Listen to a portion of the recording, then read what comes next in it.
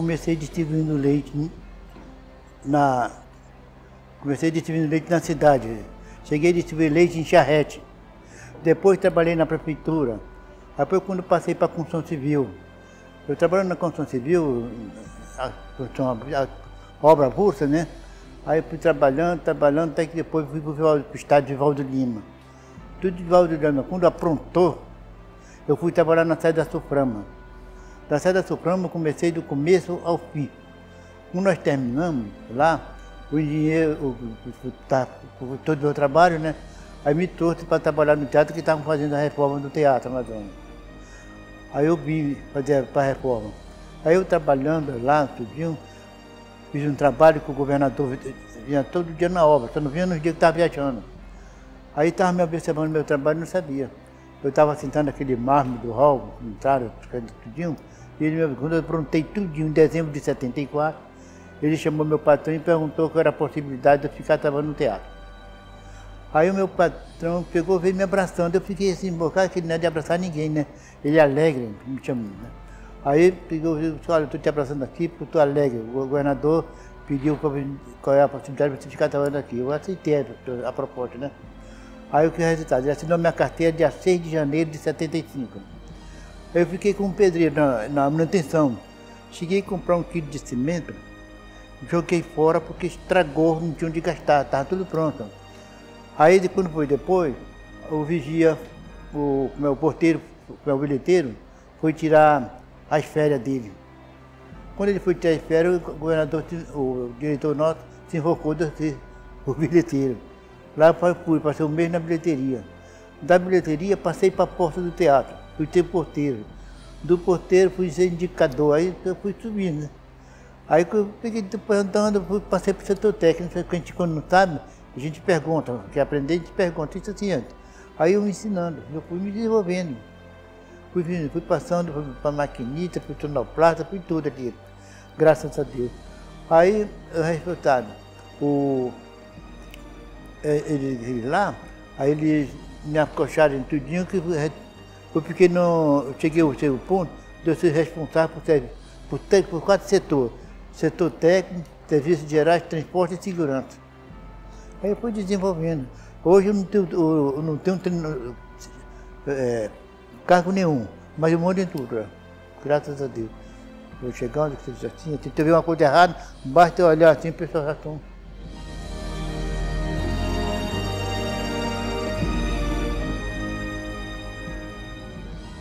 Tem aquela, aquele ditado, né? Gente, eu sou tipo um cachorro, me tratou bem e não quero sair de perto. Né? Não quero sair de perto. Então, os artistas do Amazonas, todos eles, todos eles me trato muito bem quando chego no teatro. Me trato bem mesmo, com o maior respeito. Principalmente eu, eu, eu elogio aquele que faleceu agora, o Zezinho Corrêa. Eu queria que todo mundo fosse como ele. Porque do jeito que ele é, que eu tinha naquele tempo, ele não mudou nada. Ele cresceu, não mudou nada, era aquilo, aquilo mesmo comigo. Então, eu, eu, aí foi o pessoal de fora. O pessoal de fora me apresentava, né? Aí eu brincava com um, brincava com outro, entretendo. Agora tem uma pessoa que eu mais eu gostava né, quando eu vinha aí, a dona Dercy Gonçalves. Eu queria que você visse ela conversando com a gente. Assim, então, no maior respeito. Então, a imprensa aqui, que vocês vão comigo, quer uma coisa, faz tudo. E a gente tratando a gente bem, porque pancada dói, né? Mas é mais a intuição, esses artistas que vêm, tem um Tarcísio Meire que olhava na televisão, olhava para ele, assim, na televisão, digo, esse cara deve ser ruim, maluco. Tem aquele ditado, de coração, né? de coração, né? Aí o que foi? Aí ele, ele disse, veio se apresentando no teatro, que pessoa, olha. Então você vai cativando, com carinho, né? Com carinho, cativando.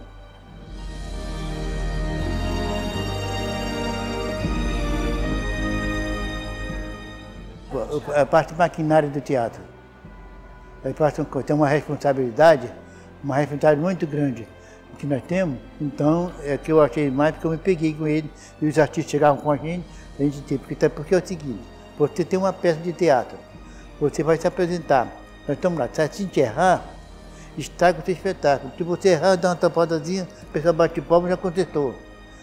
Né? Então, é, é essa parte que dá uma responsabilidade muito grande para a gente.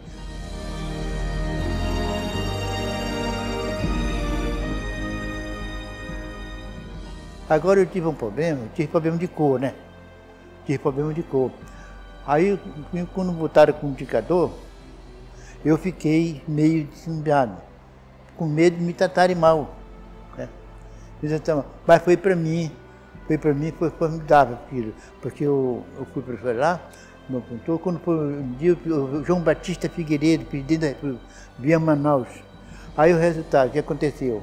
Eu me, me deram o terno, tudinho, nós éramos 12 indicadores, e o único preto que tinha era eu. Quando o chefe da, da segurança do presidente chegou, ele olhou para a fila todinha assim, olhou, Moreno, você quer ficar na porta de teatro. Você, você mesmo, eu, eu preso, né? Eu fui para lá. Aí quando eu estou na porta, eu vejo o presidente, né? Ele me cumprimentou, me abraçou, ainda conversou uns dois minutos comigo assim, aí me tirou aqui da cabeça. Era tudo. Aí comecei a andar em tudo que eu depois do teatro.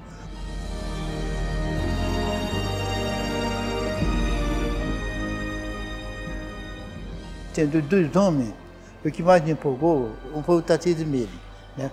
Foi o Tarcísio Meire. E eu, agora eu tive diversos, teve aquele, o, o, o Lima Duarte, é um cara que tem um homem fora de certo também. Todo esse pessoal que veio. Agora eu queria que você visse era Suzana Vieira com Ernesto Salles. São duas mulheres, ela conquista o mundo mesmo. É demais. Marcou com a gente tudinho.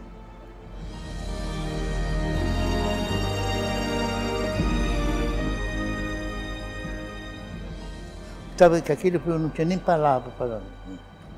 Eu não tinha nem palavra. Sabe que eu não soube nem agradecer. Eu não soube nem agradecer. Chegaram de me abraçando, me beijando, tudinho aí dando parabéns. Aí a diretora disse assim para mim, Tião, você, a TV Amazônia marcou uma entrevista comigo, quem vai falar para mim é você que não estou de falar muito, você vai falar por, por mim. Eu digo, não, ele quer falar com o diretor do teatro. Aí uma pegou, desceu, né? Aí ligou para ela, então, olha, já chegaram, já, onde vai ser? Na plateia, ela segurou na minha mão. Aí desceu comigo. Quando eu passo na plateia, eu vejo a orquestra completa, calada. Aí ela disse, não, a orquestra parou por não atrapalhar a entrevista.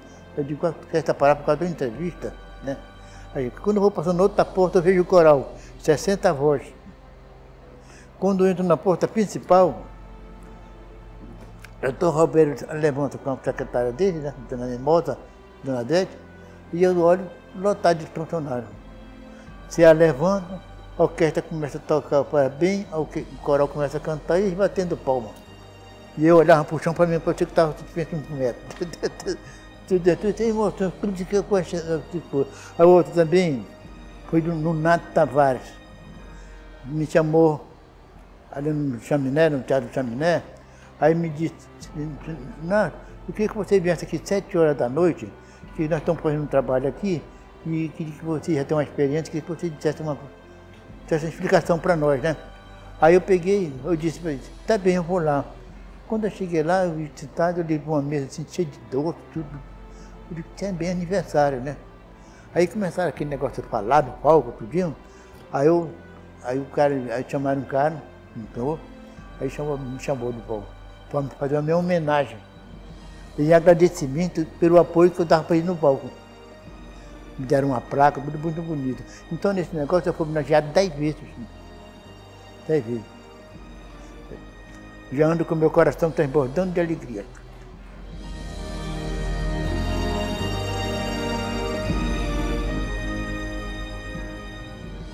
O pessoal fala em fantasma lá. Mas os fantasmas, se existe fantasma, são meus amigos.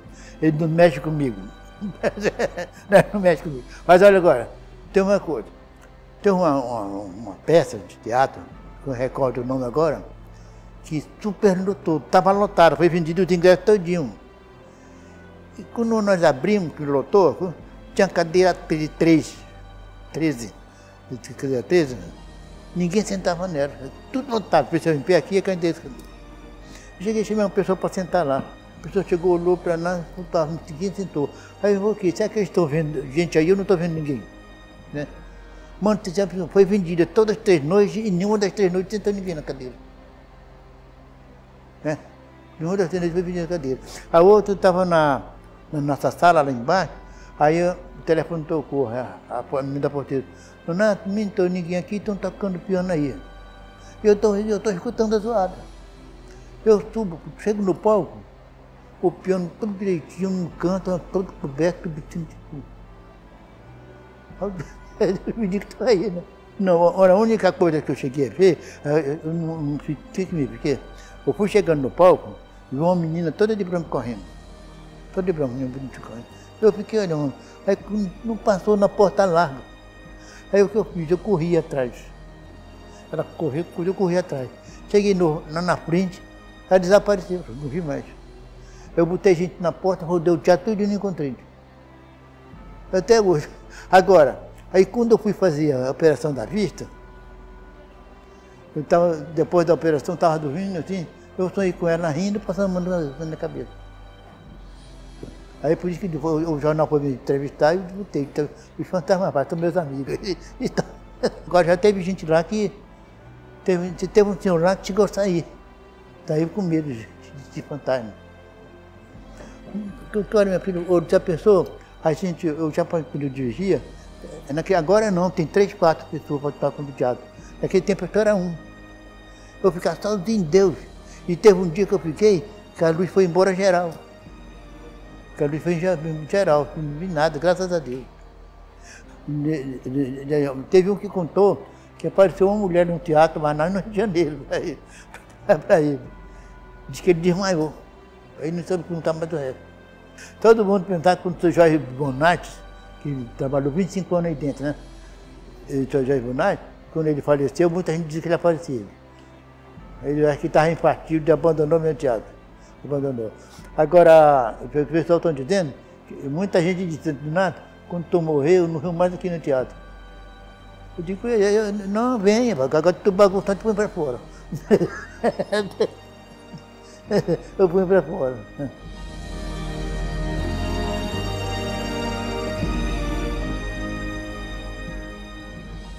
Olha, olha bem, eu estou na porta do teatro trabalhando.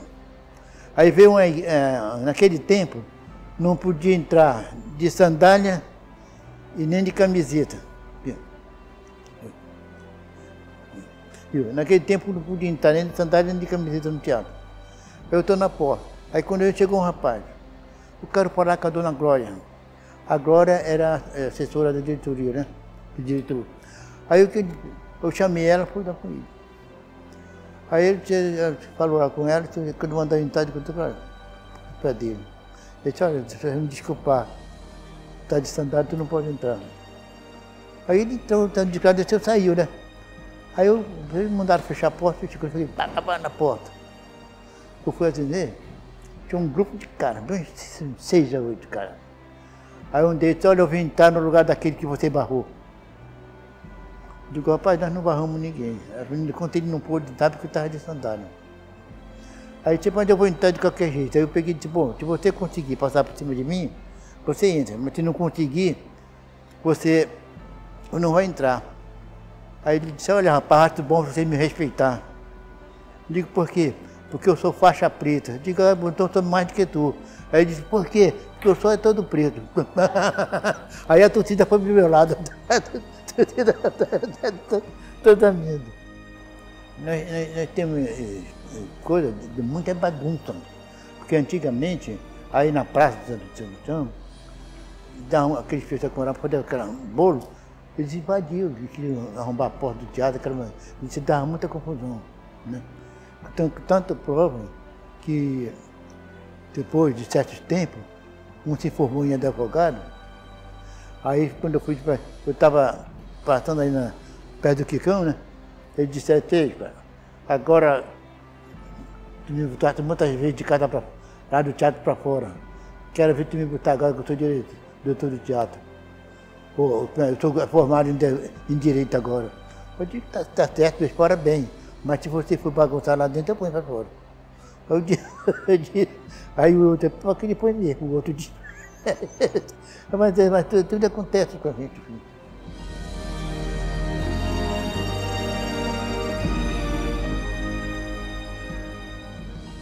Gente, olha, eu sou engenheiro do IPA. Tenho minha filha mais, das mulheres mais velhas, engenheiro é do IPA. Eu, eu, perdi um filho agora no dia 28 de outubro. E olha a acessibilidade do meu filho. Ele foi, serviu, eles estudavam. Foi serviu o exército. Quando ele deu baixo do exército, fez, fez um curso para o Correio para serviços gerais. Ele entrou varrendo quando faleceu, com um, se aposentou com um dos chefes do patrimônio do Correio daqui em Manaus. Eu digo para todo mundo, o filho que trabalha, estuda, Deus ajuda. Nós temos um Apolo, não tem um Apolo que é nosso secretário? É um cara que tem o maior valor por ele. Por quê? Eu conheci ele fazendo palhaçada no palco do teatro. Do palco do teatro, ele foi trabalhar na corrente, na frente. Vinha um carro e ia a corrente o carro passava, puxava corrente, pegando chuva e sol. Depois ele veio trabalhando em limpeza do teatro. Trabalhando em limpeza, em sirup, enfim. Depois passou para o setor técnico. Do setor técnico, foi para o escritório. Do escritório foi o nosso gerente. Aí o Dr. Roberto Vaga botou ele na CTP e agora é secretário de cultura. E eu dizia assim, tu ainda vai ser diretor de teatro. Não foi diretor, mas é secretário. Porque tem trabalho, Deus é duro. Você sendo honesto com você mesmo, é com todo mundo. Olha, o, o, uma coisa que mais eu fiquei alegre no teatro, quando o príncipe Charles da Inglaterra veio no teatro. Filho, ele corria para ter uma criança no meio do piano. As mulheres da limpeza, elas choraram quando ele abraçou ela, beijando ela. Elas toda suada, suada trabalhando. Tudo isso. E tem gente que quer ver. É, então a gente não vai para frente, tem que ter a gente mesmo, toda alegre, satisfeito. Olha, eu, eu, eu, eu tinha uma diretora, eu tive uma diretora, a doutora Dona Inês Dawa. Um dia o cara chegou lá na sala, me viu sentado, e disse, graças a Deus, Deus, que eu vi esse homem sentado. Ela dizia, para todo mundo. Tudo, sabe, ficou todo mundo. Meus diretores, não posso falar muito, tudo gostamos tudo. Tudo bom, tudo bom.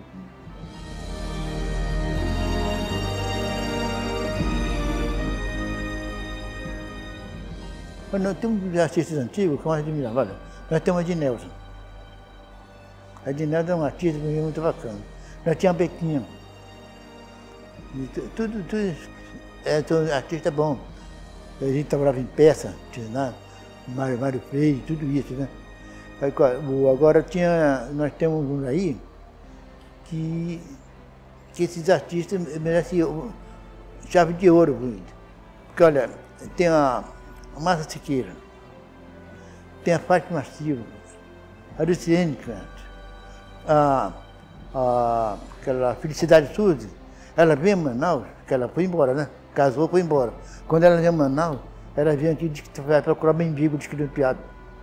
Porque de que eu, ela era pequenininha, ela corria, eu corria, agarrava na mão dela para não cair, com medo dela cair. E ela disse que ela gosta muito de mim. Tudo, tudo isso. A, nós temos Candinês. Candinês fez uma, fez uma homenagem também para mim. Me deram uma placa. Manuel Passos me deu céu para me ajudar vezes. É sinal que eu não sou mal com ele, né?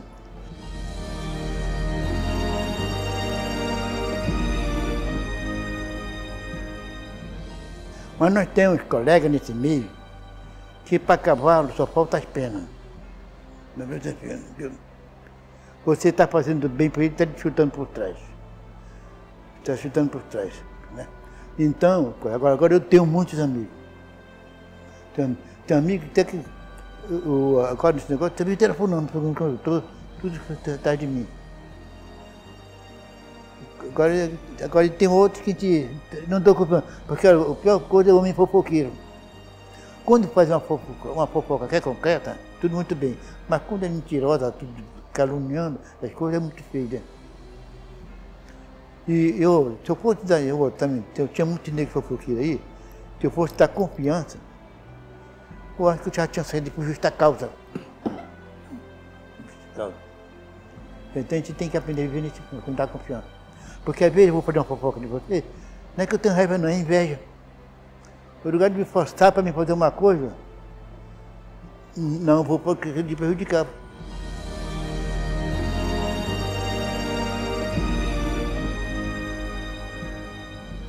não, a peça que mais me marcou foi a primeira peça que eu vi no teatro, com Regina Duarte, Santo Inquérito. Foi a primeira peça que eu fiz. Gostei. Agora eu vou dizer uma coisa. Nós, quando começamos, quando isso aqui, nós os artistas, dá um pouquinho de trabalho. Mas hoje esses artistas não devem ninguém de fora. Então, vocês ficando perto, vendo, acompanhando, você vai ver como é o trabalho. É por isso que eu gosto do teatro, que me prende no teatro isso.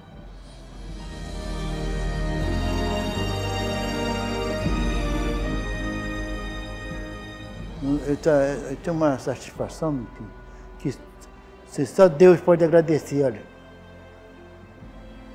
Eu, eu não tenho nem palavra.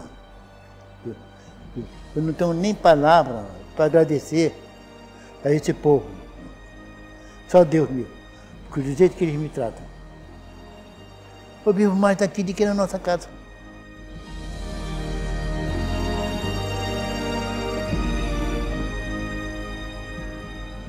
Esse escuro mesmo alguma coisa? Uma vez o Roberto parou, parou lá na frente para perguntar quantos filhos eu tinha. Eu disse que tinha perdido a conta. Porque tudo, é benção pai, benção para cá, tudo isso. O que quer dizer? É hora do Cirene Castro. Faz plantio que diz, posso sair bem, pai? Eu sou pai.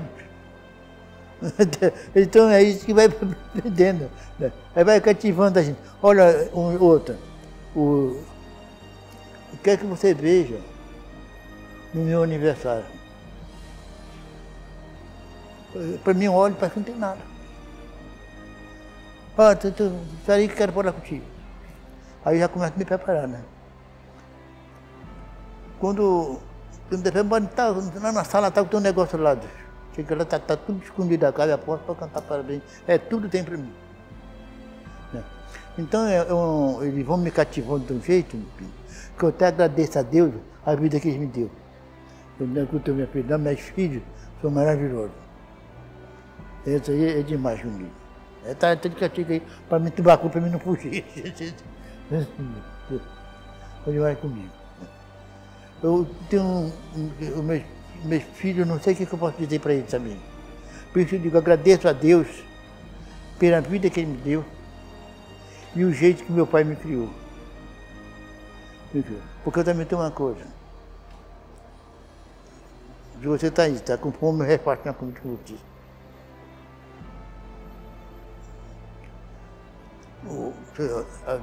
Tem uma senhora, não sei se fica aí, bem no canto. Ela e das crianças. Sempre passo com duas quentinhas para dar para que estão com fome. Agora, para o cara, já diz, olha, eu quero dinheiro, dá um dinheiro para comer ali. Porque uma vez eu dei, quando ele está lá no cadeiro bebendo, ainda, ainda me cumprimentou ainda. Agora quando ele pede, vai morrer pelo bico que nem peixe agudo.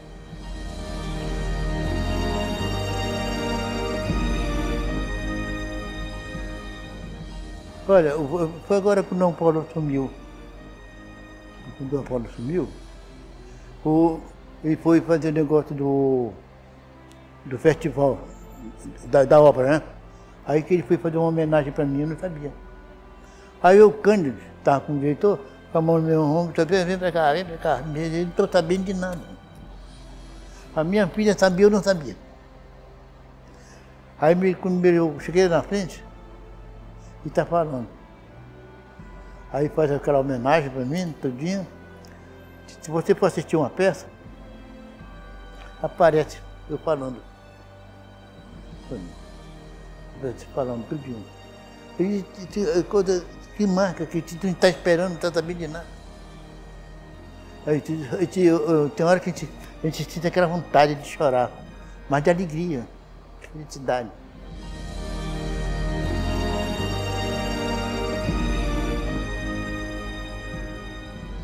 Foi, é, foi a Apolo que fez aquilo. Foi, foi aquilo. E agora no meu aniversário, sete meia da manhã, tinha um cara lá, com, com, para entrevistar tudinho, com café da manhã para mim, e os bonequinhos para mim. Eu peguei, sabe? Mas é, é muito gratificante, porque o, jeito que eu tive, Olha, minha mãe era uma lavadeira. Meu pai servinho de pedreiro. Nós passamos necessidade. Ali, agora agradeço a Deus pela vida que Ele me deu e do jeito que me permitiu. A morte da mão para todo mundo. Não é suja de roubo e nem manchada de sangue. Graças meu bom Deus, que tenho feito desde morrer assim. E, e onde eu chegar, todo mundo feliz. E então, eu, eu vou agradecendo, porque para mim chegar no, te, no teatro, olha, quando, o problema que eu tive de negócio de cor, eu estava trabalhando numa casa, pedi um copo d'água, a empregada me dá um copo d'água da geladeira, aí quando eu terminei, quando vi aquele barulho lá para dentro, a, a patroa só faltava dar nela. Eu não sabia de nada. Quando a mulher subiu, eu chamei a menina, depois ela chorando, não, não diga nada não, aconteceu isso assim, assim, assim. E o copo, ela mandou jogar fora. Eu bebi água naquele copo. Quando foi, eu me aguentei, quando deu 11 horas, me aguentei que estou mudando a roupa, chegou o patrão, o dono da casa.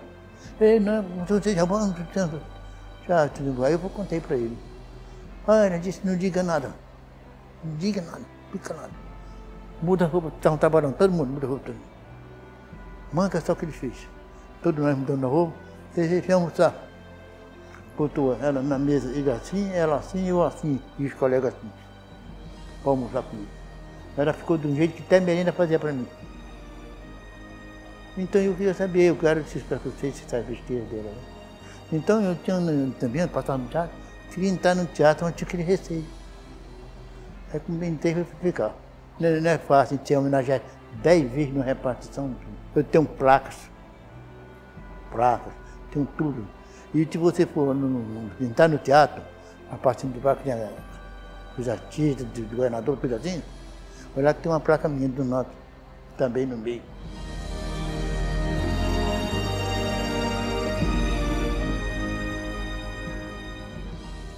O único arrependimento é não ter conhecido vocês antes. Você já faz parte da minha família também, todo mundo aí.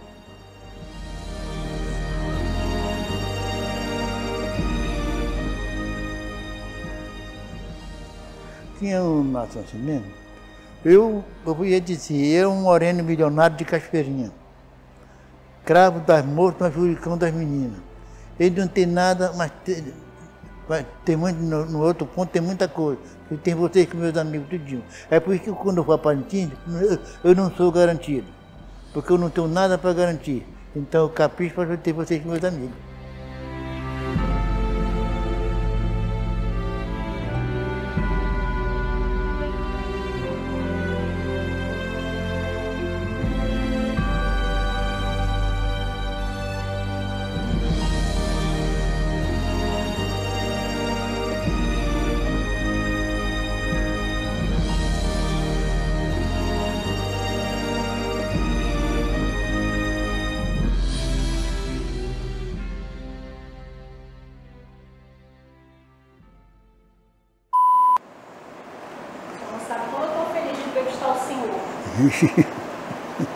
Todos do teatro têm muito respeito pelo senhor.